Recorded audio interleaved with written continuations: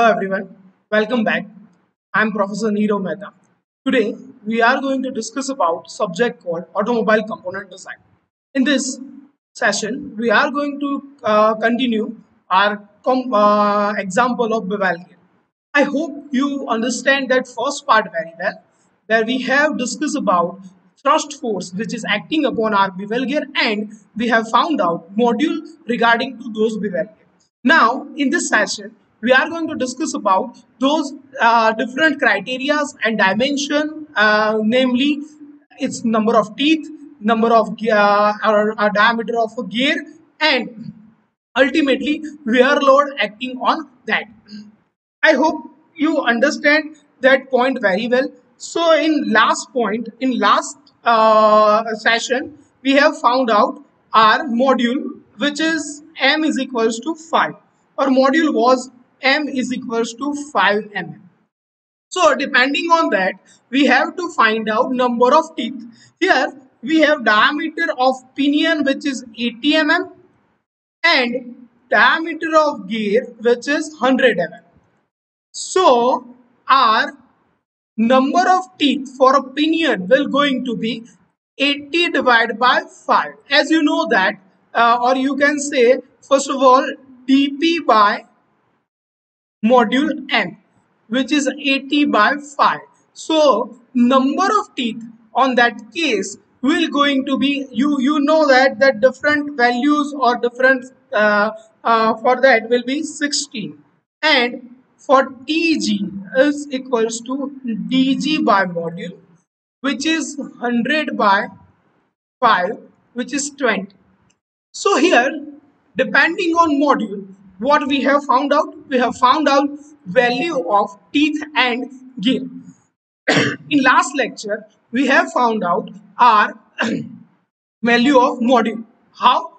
Depending on our thrust load. How we have found out those thrust load?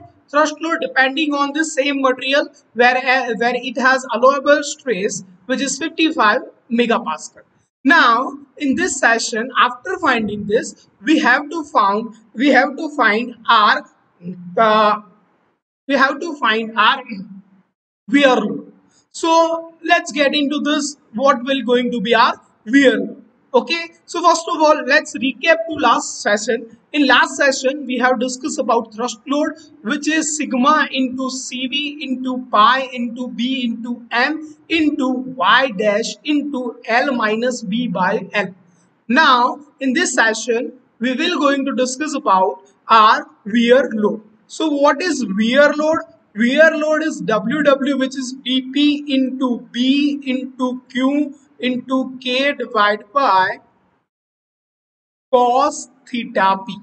1 cos theta p1 in the case of case of we have uh, in this case we got dp we got b we got q. We have to find q and we have to find k.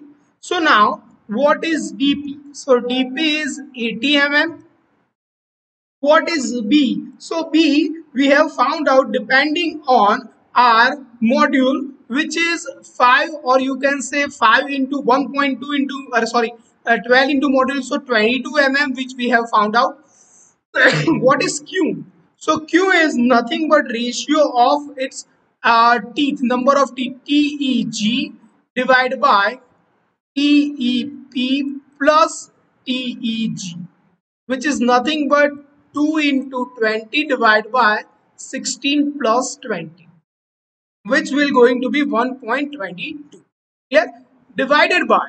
Now we have to find k. What is k? K is nothing but sigma es square into sine phi divided by 1.4 into 1 upon ep plus 1 upon eg let's put the all the values into this. So value of sigma ES is 3 uh, 630 square into sine 14 and a half divided by 1.4 into 1 upon 84 into 10 is to 3 this is 1 divided by uh, it's 2 into because it will going to be same for a same material. So the value for k will going to be 1.68 now put this value into this w all the values 80 into 22 into q 1.22 and 1.68 divided by cos 38.66 which we have found so ultimately value will be 4640 newtons now let's discuss about this value of face width. Face width value which is 22.